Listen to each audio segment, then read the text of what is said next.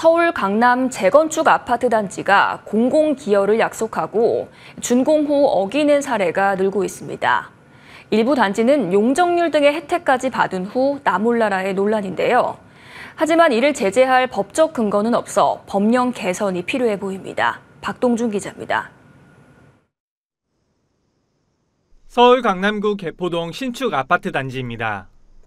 아파트 외부 모두 철제 펜스로 막혀 입주민 카드가 있어야 오고 갈 수 있습니다.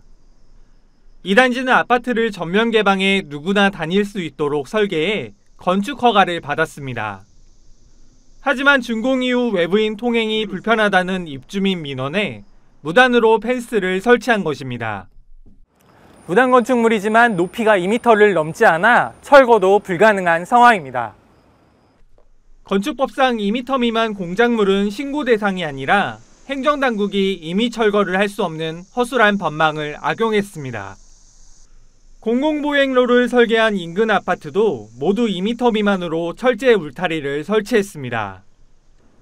이처럼 공공기여를 설계한 지구단위 계획을 어겨도 현행법으로는 아무런 행정처분을 할 수 없습니다. 고발을 해서 이제 과태료를 이제 내시게끔 하는 거 이상의 저희 조치를 할 수 있는 조항이 없어요. 지난해 8월 준공된 레미안 원베일리는 공공 커뮤니티 시설 설치를 전제로 용적률 혜택을 받았지만 1년 넘게 약속을 지키지 않다 최근에야 외부 개방했습니다. 반복된 논란에 서울시는 중앙정부의 법령 정비를 수년 전부터 지속적으로 건의하고 있습니다. 재건축 과정서 약속한 내용을 입주민들도 준수하도록 법에 명시하고 이행강제금을 신설해달라는 것입니다. 반면 주무부처인 국토교통부는 규제 강화에 신중한 입장입니다. 지구 단위 계획 자체가 복잡하고 포괄적이라 자칫 법 위반 대상이 광범위해질 수 있다는 우려입니다.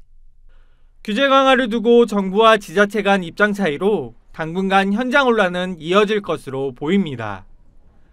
머니투데이 방송 박동준입니다.